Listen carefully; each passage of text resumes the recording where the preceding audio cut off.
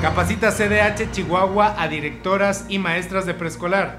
Intensificarán México, Estados Unidos y Canadá combate a violencia de género. Cinco de cada seis niños en el mundo no reciben la nutrición adecuada, dice UNICEF. Esto es DH Web Noticias. Acompáñenme.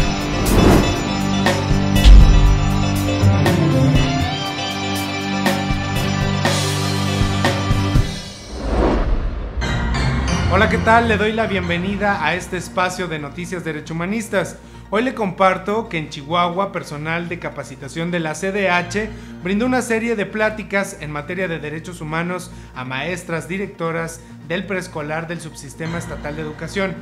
Se trata de cursos básicos que ayudan a las y los profesionales de la educación a entender el funcionamiento de la organización, así como promover en ellas el respeto por los derechos humanos, educación para la paz y la responsabilidad del servicio público.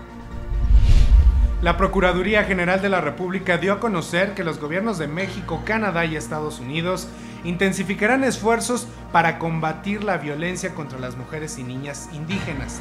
En Washington, Estados Unidos, se lleva a cabo la reunión del alto nivel del grupo de trabajo sobre este tema en Norteamérica, en el que participan la procuradora mexicana Arely Gómez González y sus homólogas Loretta Elizabeth Lynch de Estados Unidos y de Canadá, Jody Wilson. La PGR indicó que se buscará identificar los retos y áreas de la coordinación regional, así como compartir mejores prácticas, además de la coordinación en la aplicación de la ley y trata de personas, así como derechos humanos, mujeres, paz y seguridad.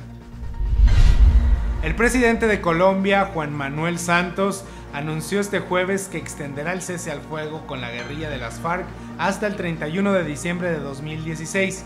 El gobernante que hizo el anuncio en cadena nacional quiere dar más tiempo a los esfuerzos para salvar el acuerdo de paz firmado con la guerrilla en septiembre.